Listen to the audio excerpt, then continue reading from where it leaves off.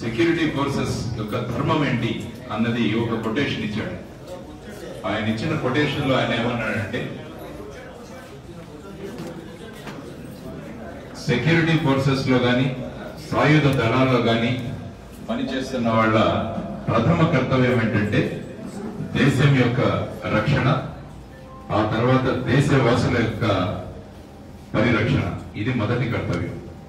రెండవది వచ్చి నీతో పాటు పనిచేస్తున్న వాళ్ళ రక్షణ వాళ్ళ సంక్షేమం.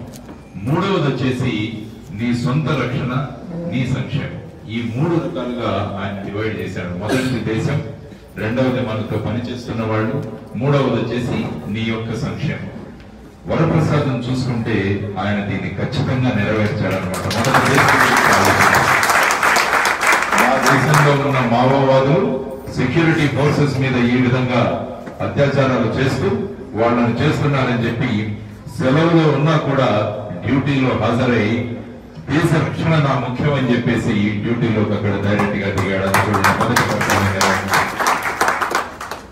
ఇంతటి జరిగి హెలికాప్టర్ వెళ్ళిపోయిన తర్వాత కూడా తనతో పాటు ఉన్న నలుగురు నా రక్షణ ముఖ్యం కాదు మీ నలుగురి జీవితాలు ముఖ్యమని ఈ నలుగురిని మీరు దక్షిణ దిశగా వెళ్ళండి. నేను ఎదుర్కొంటానని వాళ్ళ సంక్షేమం కోసం వాళ్ళ రక్షణ కోసం పాటుపడ్డాడు.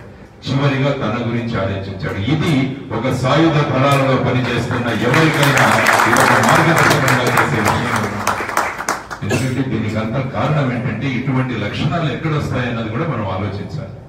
ఈ రోజు ఎంతో మంది ఉన్నాం మన సెక్యూరిటీ ఫోర్సెస్ కానీ కొంతమందిలోనే ఇటువంటి త్యాగం చేసే గుణాలు ఎందుకు వస్తాయంటే వాడు పుట్టిన స్థలం పుట్టిన కుటుంబం.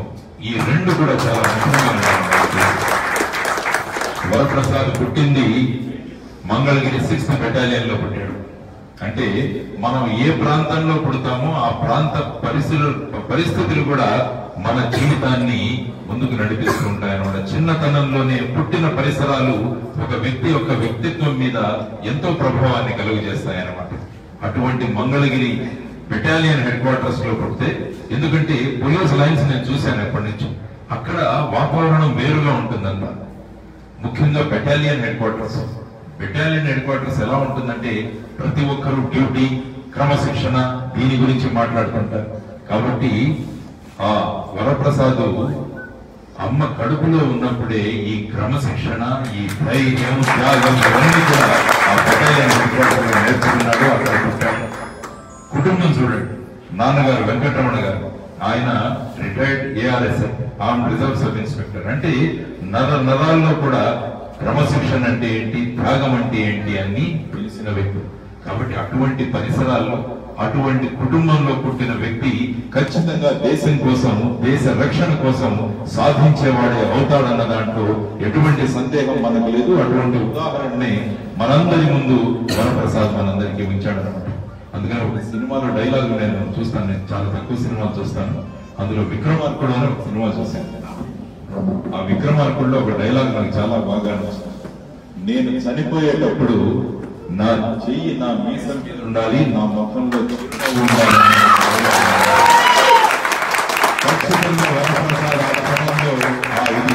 వరప్రసాద్ చూసే ఆ సినిమాల్లో డైలాగ్ పెట్టింటారని నేను అనుకుంటాను. కాబట్టి అటువంటిది గొప్ప జీవితం. అందుకనే ఒక మహానుభావుడు అంటాడు నువ్వు వెళుతూ వెళుతూ కనీసం పది మందిని ఇన్స్పైర్ చేయకుండా వెళితే నీ జీవితం వ్యర్థం అంటాడు ఆయన. ఈ రోజు చూడండి వరప్రసాద్. ఎంతమంది యువతరాన్ని మా అందరికీ కూడా ఆదర్శప్రాయుడు వరప్రసాద్ అనమాట అటువంటి అదృష్టం చాలా తక్కువ మందికి మాత్రమే దక్కుతుంది. కాబట్టి ఈ రోజు ఈ సభ ఎలాంటిదంటే ఒక గర్వించదగ్గ సభ. మనలో ఉన్న వ్యక్తి ఒక అతి ఉత్తమమైన స్థానానికి వెళ్ళి ప్రపంచానికంతా మార్గదర్శనం చేస్తూ నన్ను అనుసరించండి అని చెప్పి ముందుకు వెళ్ళిపోయి పైనుంచి మనలందరినీ చూస్తున్న గొప్ప వ్యక్తిత్వం వరప్రసాద్ అటువంటి మనం ఈ పాల్గొనడం చాలా మన అదృష్టం. వాళ్ళ తండ్రిదండ్రుల బాధలు నేను గుర్తు తెచ్చుకోగలను తల్లిదండ్రుల బాధలు అది చెప్పారు మా మిత్రుడు అప్పారావు గారు. వాళ్ళ అబ్బాయి కూడా పాపం పీజీ మెడికల్ చేస్తూ యాక్సిడెంట్లో చనిపోయాడు. ఆ శోకం ఎలా ఉంటుంది అన్నది అది వర్ణనాతీతం అనమాట అది వర్ణించలేదు. నేను కూడా మహారాష్ట్రలో మా జోగ్ గారు అని చెప్పేసి ఆయన రిటైర్డ్ డీజీపీ ఒక అబ్బాయి ఎయిర్ ఫోర్స్లో ఉండేవాడు ఇంకొక అబ్బాయి ఐపీఎస్లో ఉండేవాడు. ఆయన బ్రతుకుండగానే వీళ్ళిద్దరు కూడా చనిపోయారు అనమాట వాళ్ళ అంత్యక్రియలు ఈయన చేయాల్సి వచ్చింది. అది ఒక తండ్రి జీవితంలో మనం తలుచుకుంటే ఆ రోజు అసలు బాగుండదు ఎవరి జీవితంలో అనుకుంటాం. కానీ వీళ్ళ కుటుంబంలో ఇలాగుంటే భరతమాత అక్కడ తన ముద్దు బిడ్డను చూసి ఎంతో గర్వంగా ఆనందంగా ఉందన్నమాట. అటువంటి అవకాశాన్ని భరతమాత కల్పించడం మన కాబట్టి అటువంటి గొప్ప వ్యక్తిని గురించి మనం ఆలోచించడం మనం మాట్లాడుకోవడం మన పిల్లలు ఎస్పెషల్లీ చాలా మంది యువతరం వరప్రసాద్ని ఆదర్శంగా తీసుకోవాలన్నమాట. అంటే చదువుకున్నాడు మ్యాథ్స్ బిఎస్సి చేస్తున్నాడు ఉస్మానియా యూనివర్సిటీలో ఎంఎస్సి మ్యాథ్స్ చేస్తూ అంటే దాన్ని బట్టి తెలుస్తుంది మంచి చురుకైన విద్యార్థి అని చెప్పేసి. పోలీస్ డిపార్ట్మెంట్లో ఉద్యోగం రాగానే దాన్ని వదిలేసి వెంటనే జాయిన్ అయ్యాడు. కొన్ని సంవత్సరాల్లోనే ఇన్స్పెక్టర్గా ప్రమోషన్ కూడా తీసుకున్నాడు. చూడండి ఇవన్నీ చూసుకుంటే ఏంటంటే అంకిత భావం మనకు కనిపిస్తుంది. ముఖ్యంగా నక్సల్వాదులతో పాటు పోరాడే సంఘటనలో చాలా అప్రమత్తంగా ఉండాలి. నేను కూడా రెండున్నర సంవత్సరాలు గడిచిరోలి అనే జిల్లా మహారాష్ట్రలో పనిచేసి మేము ఇన్స్పెక్టర్లు కానిస్టేబుల్స్ అందరం వెళ్ళి అడవుల్లో పడుకునే వాళ్ళం రెగ్యులర్ అటువంటి పరిస్థితులు ఎలా ఉంటాయో మాకు తెలుస్తుంది. యాక్చువల్గా ఈ సీన్ మీరు టీవీలో చూసారు దాని గురించి ఒక్కసారి ఆలోచించుకోండి. డెబ్బై మంది చుట్టూ ఫైర్ చేస్తున్నారు. మనం ఐదుగురు ఉన్నాం. హెలికాప్టర్లో వెళ్ళారు ఇంకా హెలికాప్టర్ ఎక్కబోతున్నాం. ఫైరింగ్ అయింది. హెలికాప్టర్ వెళ్ళిపోయింది. మనం ఐదుగురు ఉన్నాం. ఇప్పుడు ఏం చేయాలని మనం ఇప్పుడు కూర్చొని ఆలోచించినా కూడా మన మనసుకి ఇది స్ఫురించదు యాక్చువల్గా ఆ సమయంలో రియాక్ట్ అయ్యి నలుగురిని మీరు వెళ్ళిపోండి నేను చూసుకుంటానని చెప్పి వెళ్ళడం అంటే ఆ క్షణం అది చాలా కాబట్టి అటువంటి అందుకనే అంటారు సింహం పడుకున్న సింహమే పుడుతుందని చెప్పి నమస్కారం చేస్తున్నాను. ఎందుకంటే అమ్మ ఒగ్గు పాలతోనే పిల్లవాడికి ధైర్యం నూరిపోసింది. నాన్న తన డ్యూటీలో పిల్లవాడికి క్రమశిక్షణ నేర్పించాడు కాబట్టి ఇటువంటి తల్లిదండ్రులకు పుట్టిన పెట్టి పిల్లవాడు ఖచ్చితంగా దేశానికి గర్వ కారణంగా అయ్యాడు. మనందరం కూడా గర్వంగా చెప్పుకుంటున్నాం వరప్రసాద్ గురించి. మా ఊరు వరప్రసాద్ ఇప్పుడు మాట్లాడారు ఎవరు మాట్లాడరు? వరప్రసాద్ ఊరు అంటారు. అది అంటే ఊరి పేరునే మార్చేశారు వరప్రసాద్ చాలా తక్కువ మందికి ఈ అవకాశం అందుకనే ఒక మహానుభావుడు అన్నాడు. మనం పుట్టినప్పుడు దేహాన్ని సంతరించుకుంటాం వెళ్ళిపోయేటప్పుడు దేవుడి దగ్గరికి వెళ్ళేస్తామంటారు ఆయన ఏమన్నాడంటే దేహాన్ని సంతరించుకుంటాం దేవుడి దగ్గరికి వెళ్ళిపోతాం. కానీ ఒక్కటి గుర్తుంచుకోండి. ఈ దేహానికి దేవుడికి మధ్య దేశం ఉంటుంది. దాన్ని మర్చిపోకండి. మనం చేసే ప్రతి చర్యల్లో కూడా మనం చేసే ప్రతి విషయంలో కూడా దేశం గురించి ఎప్పుడూ ఆలోచిస్తుండాలి. అందుకనే ఇప్పుడు ముందు వ్యక్తులు రామారావు గారు కానీ తర్వాత వచ్చేసి మా వక్తలు రామ్ నరేష్ గారు రామ్ నరేష్ గారు కానీ వీరందరూ ఏం మాట్లాడారంటే ఇటువంటి అవకాశం చాలా తక్కువ మందికి వస్తుంది. కానీ మనం ప్రతి ఒక్కరం కూడా మనం నిత్య జీవితంలో కనుక ఇటువంటి విషయాలను దేశం గురించి ఆలోచించడం మొదలు పెడితే ఖచ్చితంగా దేశం ముందుకు పెడుతుంది వరప్రసాద్ లాంటి అవకాశం చాలా తక్కువ మందికి వస్తుంది. కానీ ప్రతి ఒక్కరూ కూడా వాళ్ళ నిత్య జీవితంలో వరప్రసాద్ను ఆదర్శంగా తీసుకొని వరప్రసాదే అంత చేయగలిగాడు మనం మనం ఆ స్థాయిలో కాకుండా మన స్థాయిలో ఏదైనా చేయగలమా అన్నది ప్రతి ఒక్కరూ ఆలోచించిన రోజున చూడండి దేశం ఏ విధంగా మారిపోతుంది. కాబట్టి మనం చేస్తున్న ప్రతి చర్యలో కూడా దేశం గురించి ఆలోచించండి. దేశం కోసం నేనేం చేస్తాను అన్నది చాలా ముఖ్యం. నేను చెప్పాను రామ్ నరేష్ గారు. దేశం కోసం నువ్వేం చేస్తున్నావు అన్నది ఆలోచించు. మనం ఎప్పుడు గవర్నమెంట్ ఇది ఇవ్వలేదు గవర్నమెంట్ అది చేయలేదు దీని గురించి ఆలోచిస్తున్నాం కానీ నువ్వేం చేస్తున్నావు అన్నది ఒక్కసారి ఆలోచించుకుంటే మన అందరి కలెక్టివ్ ఎఫర్ట్స్ మనం అందరం కలిసి ఎప్పుడైతే పని చేస్తామో అప్పుడు ఖచ్చితంగా దేశం ముందుకు వెళ్ళగలదు. ఆ సం- ఈ సందర్భంలో మనం అంతా నిర్ణయించుకోవాలన్నమాట. వరప్రసాద్ చేసిన త్యాగాన్ని మేము వృధాగా పని వరప్రసాద్ మా స్ఫూర్తి. వరప్రసాద్ స్ఫూర్తితో ప్రతి క్షణం మేము చేసే ప్రతి కార్యంలో కూడా వరప్రసాదం గుర్తు చేసుకుంటూ మేము ముందుకు వెళ్తామని మనం అనుకున్న రోజున ఎంతో గొప్పగా ఉంటుంది. వాళ్ళ ఊరికి వెళ్ళాను నేను ఇంటికి కూడా వెళ్ళి కలిసి వచ్చాను వాళ్ళ అమ్మ నాన్న తర్వాత కళావతి అమ్మ వాళ్ళ సిస్టర్ కానీ వీళ్ళంతా కూడా బాగా పరిచయం. వీళ్ళు కూడా వరప్రసాద్ని ఎంతమందికి ఆదర్శంగా అవుతాడన్న తపనలో ఉంటారు వీళ్ళంతా.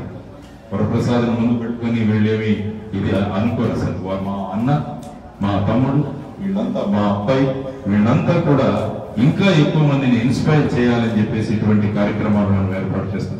చూడండి ఆయనకు వచ్చింది అశోక చక్ర. అది హైయెస్ట్ సివిలియన్ అవార్డు మీరు బాంబే అటాక్స్ తీసుకుంటే రెండు వేల ఎనిమిదవ సంవత్సరంలో వాళ్ళు పాకిస్తాన్ నుంచి వచ్చి అటాక్ చేసినప్పుడు మా మిత్రుడు మాతో పాటు పనిచేసిన వాళ్ళు హేమంత్ కర్కరే గారు కానీ తర్వాత వచ్చేసి మా మిత్రుడు విజయ్ సాలస్కర్ గాని అశోక్ కాంటే గాని వీరందరూ కూడా ఆ దుర్మార్గుల దీంట్లో చనిపోయారు.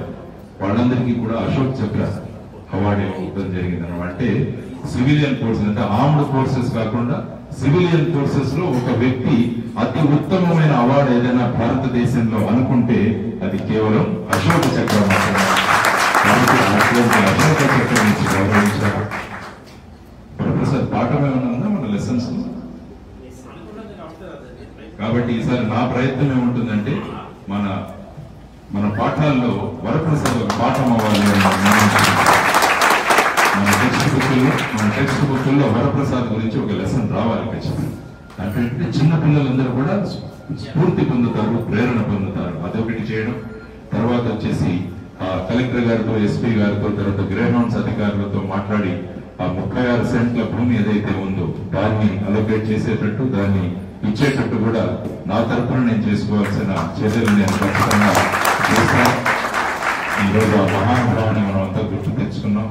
అతను చేసిన త్యాగాలను మనం గుర్తు తెచ్చుకున్నాం. మనం అంతా గర్వపడుతున్నాం ఈ రోజు వరప్రసాదం చూసుకోవాలి కాబట్టి జన్మ అంటే అలా ఉండాలన్నమాట. అందరూ గర్వించే జన్మ మనుషులది అయితే ఎంత అద్భుతంగా ఉంటుంది కదా అనే ఒక సంకల్పన ఈ రోజు వస్తుంది. కాబట్టి ఈరోజు మనం అందరం ఒక కృత నిశ్చయం చేసుకుంటాం వరప్రసాద్ లాగా మేము కూడా దేశం కోసం ఖచ్చితంగా ప్రతి రోజు పని చేస్తామని మనం నిర్ణయించుకుంటే అది నిజంగా మనం వరప్రసాద్కి మనం ఇచ్చే నివాళులు అనమాట కాబట్టి ఈ రోజు ఇచ్చే నివాళి మేము కూడా వరప్రసాద్ను స్ఫూర్తిగా తీసుకొని మా ప్రతిరోజు మా నిత్య కృత్యాలలో వరప్రసాద్ను ఆదర్శంగా పెట్టుకొని మా జీవితాలు మా జీవితాలు కూడా ఆదర్శవంతంగా చేసుకుంటాం.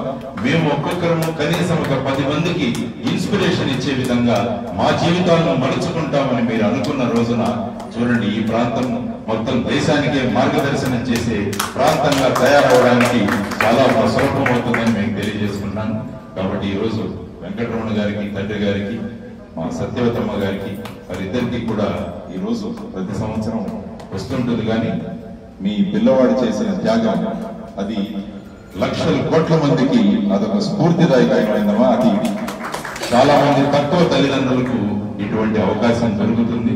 కాబట్టి మీ కడుపున పుట్టిన వరప్రసాద్ ఈ రోజు ఇంతమంది పిల్లలకు ఆదర్శమయ్యాడంటే అది నిజంగా ఒక పెద్ద గర్వకారణం అని నేను మీకు తెలియజేసుకుంటున్నాను. అదేవిధంగా వరప్రసాద్కి పాఠాలు చెప్పిన గురువులు కూడా చాలా ముఖ్యం. వాళ్ళు కూడా వరప్రసాద్లో ఆ విధంగా దేశభక్తిని నూరిపోయడం వల్ల ఆ విధంగా ముందుకెళ్ళాడు. అందువల్ల మనం అందరం కూడా వచ్చే సంవత్సరం మళ్ళా ఏప్రిల్ పదిహేడు కార్యక్రమం లోపల మనం అనుకున్న రెండు విషయాలు. పాఠ్యాంశంలో వరప్రసాద్ని ఒక పాఠ్యాంశంగా మార్చడం ఏదైతే అక్కడ ఒక పార్క్ ఒకటి డెవలప్ చేసి వరప్రసాద్ గారి ఒక స్టాచ్యూని మనం ఏర్పాటు చేసి ఏదైతే అనుకుంటున్నామో ఈ రెండింటిని కూడా నా పర్సనల్ టార్గెట్లుగా నేను పెట్టుకుంటున్నాను. సొంత టార్గెట్ నా సొంత టార్గెట్లుగా ఈ రెండు ఈ రోజు పెట్టుకుంటున్నాను. కాబట్టి వచ్చే సంవత్సరానికి ఈ రెండు పూర్తి చేసి మనం ముందుకు పెడదాం అన్నది నా సంకల్పం. ఈ రోజు ఇటువంటి చైతన్యవంతమైన కార్యక్రమంలో ఇటువంటి స్ఫూర్తిదాయకమైన కార్యక్రమంలో ఇటువంటి గొప్ప మహానుభావుడి గురించి నాలుగు మాటలు చెప్పే అవకాశాన్ని నాకు కల్పించినందుకు ఈ మన వరప్రసాద్ ఫౌండేషన్ వెల్ఫేర్ ఫౌండేషన్ ఏదైతే ఉందో వారికి కూడా నేను ధన్యవాదాలు తెలియజేస్తున్నాను. అతని స్ఫూర్తిని ఈ విధంగా ముందుకు తీసుకెళ్తూ ఎంతో మందికి ప్రేరణ కలిగించే కార్యక్రమాలు మేము చేస్తున్నాను. కాబట్టి ఆ కార్యక్రమాల్లో కూడా నాకు అవకాశం కల్పిస్తే నా వంతుగా నేను ఖచ్చితంగా మీతో పాటు ఉంటాను. ఈ ఫౌండేషన్ ఇంకా అలాగే ముందుకు నడిపిద్దాం. ఇంత పెద్ద సంఖ్యలో హాజరైన మీ అందరికీ కూడా ధన్యవాదాలు తెలియజేస్తూ ముఖ్యంగా విద్యార్థులు చాలా మంది వచ్చారు. కాబట్టి నేర్చుకోండి. వీళ్ళు రియల్ హీరో. మన జీవితంలో ఎవరైనా ఒక ప్రేరణ కలిగించారంటే వరప్రసాద్ లాంటి వాడిని. కాబట్టి వీటిలో పాఠ్యాంశాలు చదవండి. ఏంటండి? వీడియో నచ్చిందా? అయితే ఓ లైక్ వేసుకోండి. లేదంటే ఓ కామెంట్ చేయండి. ఎప్పటికప్పుడు మా వీడియోస్ చూడాలంటే సబ్స్క్రైబ్ చేసుకోండి.